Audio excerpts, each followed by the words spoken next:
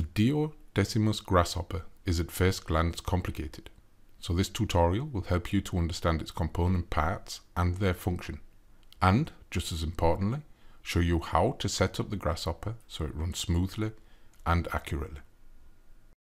So let's just pause the grasshopper and take a look at its parts.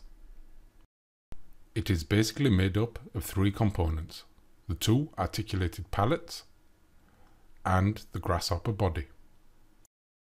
The body provides the main pivot point, but also the pivot points for both pallet arms. The escapement wheel turns in an anti-clockwise direction, so the right hand pallet when it engages will be pushed. Therefore we will call it the push pallet. The left hand pallet when it engages will be pulled, so the pull pallet. To better understand what actually happens when the grasshopper is working, we will take a look in slow motion. Here you can see that the left pallet is just engaged with the wheel. There is a small recoil movement where the momentum of the pendulum pushes the wheel in the opposite direction. As soon as that happens, the pressure from the wheel against the pulling pallet stops. It is now absolutely free, so the magnets can bring it into its starting position. Now the pull pallet has re-engaged, small amount of recoil, and the push pallet is no longer held and returns to its starting position. Now the push pallet re-engages and the cycle starts again. Each cycle takes 2 seconds. In one day alone, that is 43,200 cycles. Before we continue, it's vital that you have the swinging times as well as the escapement wheel drive force shown in the other Duodecimus tutorial. If you do not, do not even try setting up your grasshopper as it will just end in frustration. As you know, there is a magnet in the pallet disc and just opposite there is one in the grasshopper body. As they are polarized to attract each other, the pallet when free will snap back into its starting position. To make it a bit more transparent, I have added the dot to show the magnet position which of course would not normally be visible. As you have seen before, it is vital that the pallet engages in the correct position. This position can be adjusted by turning the pallet disc. If we wished to lift the starting position of the pull arm, then the disc must be turned clockwise. When the magnets line up, this will lift the pallet arm. To drop the arm, just turn the disc in an anti-clockwise direction.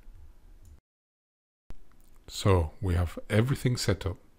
The driveway is hung and the grasshopper is nice and level. The closed peg on the escapement wheel prevents the wheel from just whizzing away.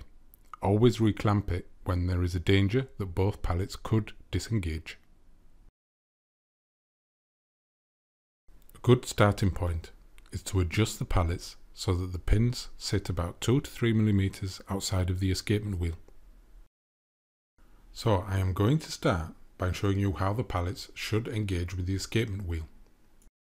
The pull pallet is engaged and I am just moving the pendulum up and down so I can see exactly where the pin on the push pallet hits the wheel.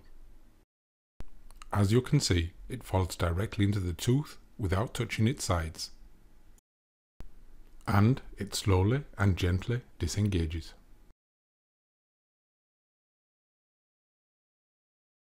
Here it is exactly the same for the pull pallet.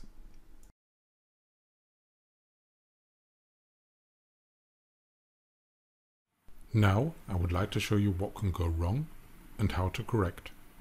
Firstly, you can see that the pin is hitting the tooth too high. So the pallet needs lowering, which means turning the disc in an anti-clockwise direction. Also, the pin is disengaging way too aggressively. You can reduce the disengaging force by increasing the distance between the magnets. Here you can see the grasshopper from above, and these are the two magnets that control the pull pallet. So in order to reduce the force, just push the disc outwards. Here you can see that the push pallet is disengaging with a lot of force. If it is too much, then it will disengage before the pull pallet has engaged. Now just watch.